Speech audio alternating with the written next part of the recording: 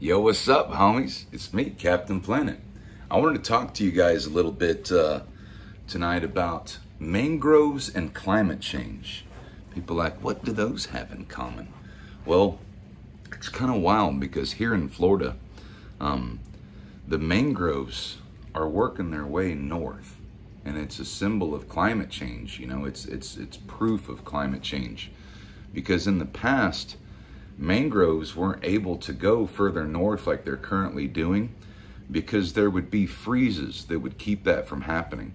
But we're getting fewer and fewer and fewer freezes um, far down south, to where now our salt marshes, like let's say up by New Smyrna Beach area to, to over north of the nature coast where our salt marshes take over. Well, now mangrove forests are starting to take over the salt marshes.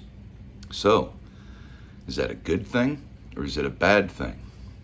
Well, it's just a thing. It's nature, right?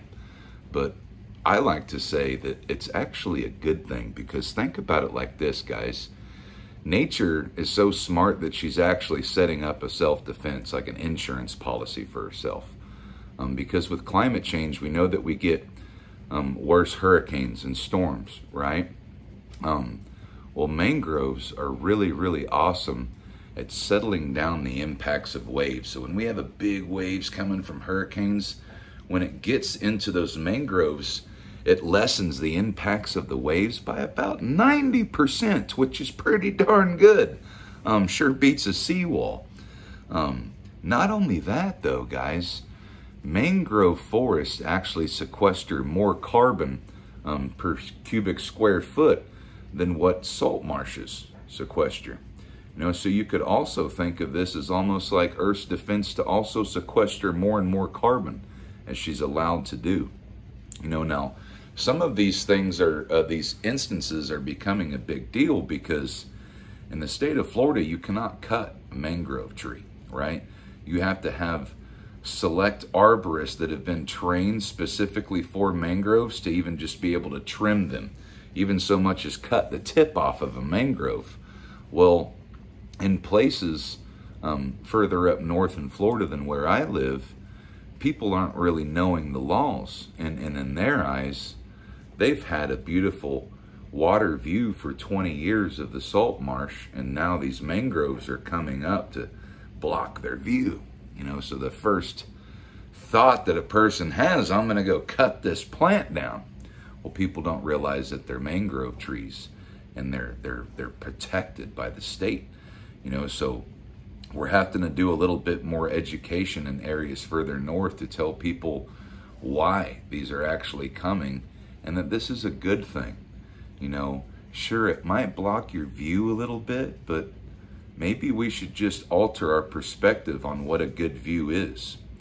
Is a good view uh, a 25 foot wave barreling into our house? Or is a good view a, a three foot wave barreling on, through the mangroves? You know, so I think that this is pretty cool watching the mangrove forest further and further move north. You know, I can't remember the specific park that I was at, but I was reading this sign. It was up kind of north of New Smyrna Beach on the East Coast, and I'm reading this sign that's talking about your view of the salt marsh. And I look up, and the view was straight up 100%, like, well, not 100, but 95% mangrove forest, not salt marsh. You know, so nature had come in and changed what they had made a sign about just a decade prior. You know, so it's pretty cool to witness as a biologist, you know, watching nature put in an insurance policy for herself as far as, you know, hey, I'm going to add more mangroves.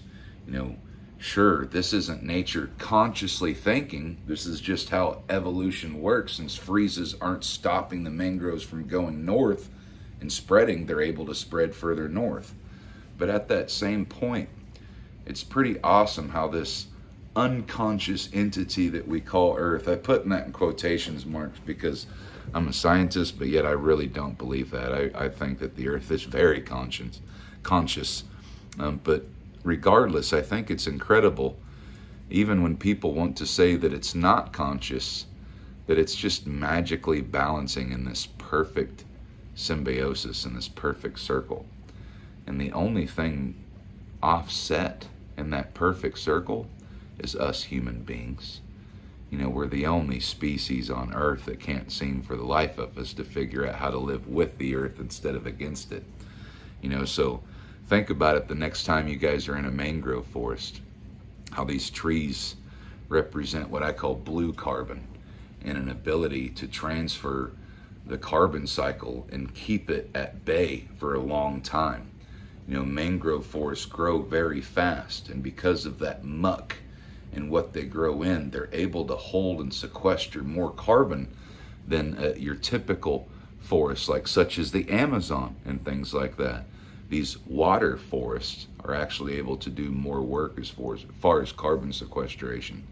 And I, for one, think that that's pretty cool. You know, believe it or not, at one point in time, um, seagrass in Florida um,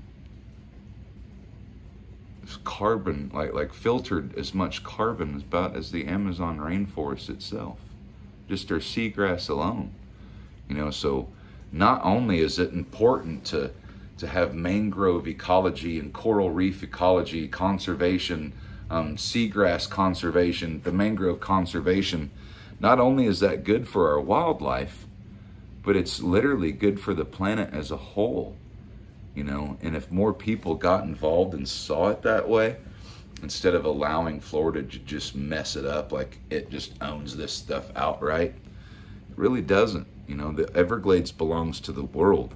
The third largest reef on the planet like that belongs to the world. It's not just florida's to take and do what they want with.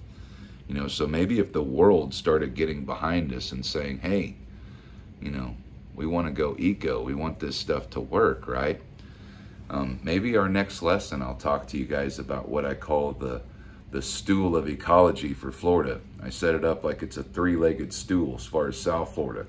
You have the Everglades as one leg, um, or not the Everglades, but the actual seat you sit on is the Everglades. You have the coral reefs as one legs.